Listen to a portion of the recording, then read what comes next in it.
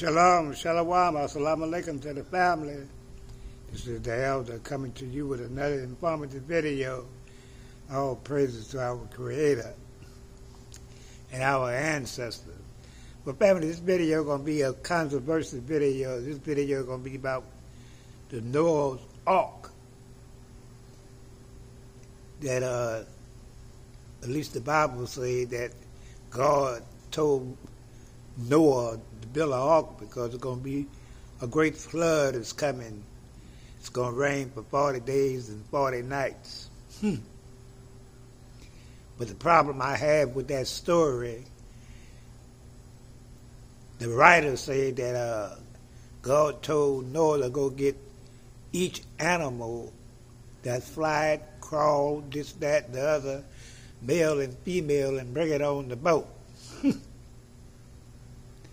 I can't see how that was possible. Serious. That's the problem I have with the Noah Ark story. That did they have a flood? They had the flood had been passed way before the Bible was written. Because at one time this whole planet was was a landmass called Pangea. That's right, family.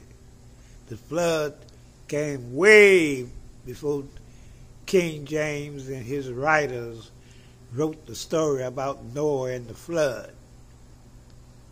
Timeline don't even match up.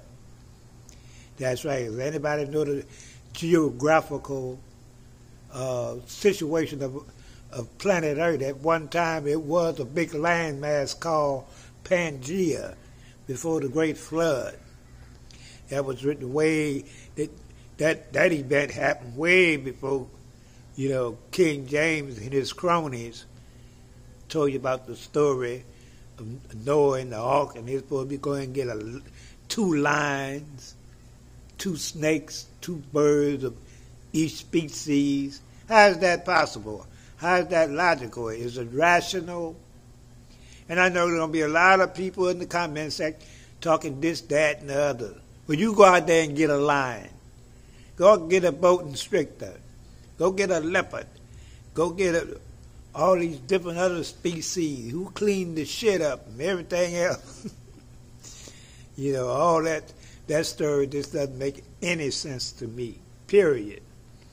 It is a biblical story written by Europeans. As far as the flood, I already said they had a flood. The flood predate what they wrote in the Bible. That's right. Ain't nobody going to get these different type of animals all over the world. He was in one part of the world, so he had to go everywhere and get something. So explain that to me. That's right, family. Well, we're going to cut this video short. Love to hear your comments, your analysis, because I know there are going to be a lot of people in the comment section with no rationality, can't think, disbelievers, but, believing in the truth and facts is two different things. That's right. We're going to get on out of here. Peace and love. Put up the likes and shares. Stay tuned for the next video live stream. And I'm out.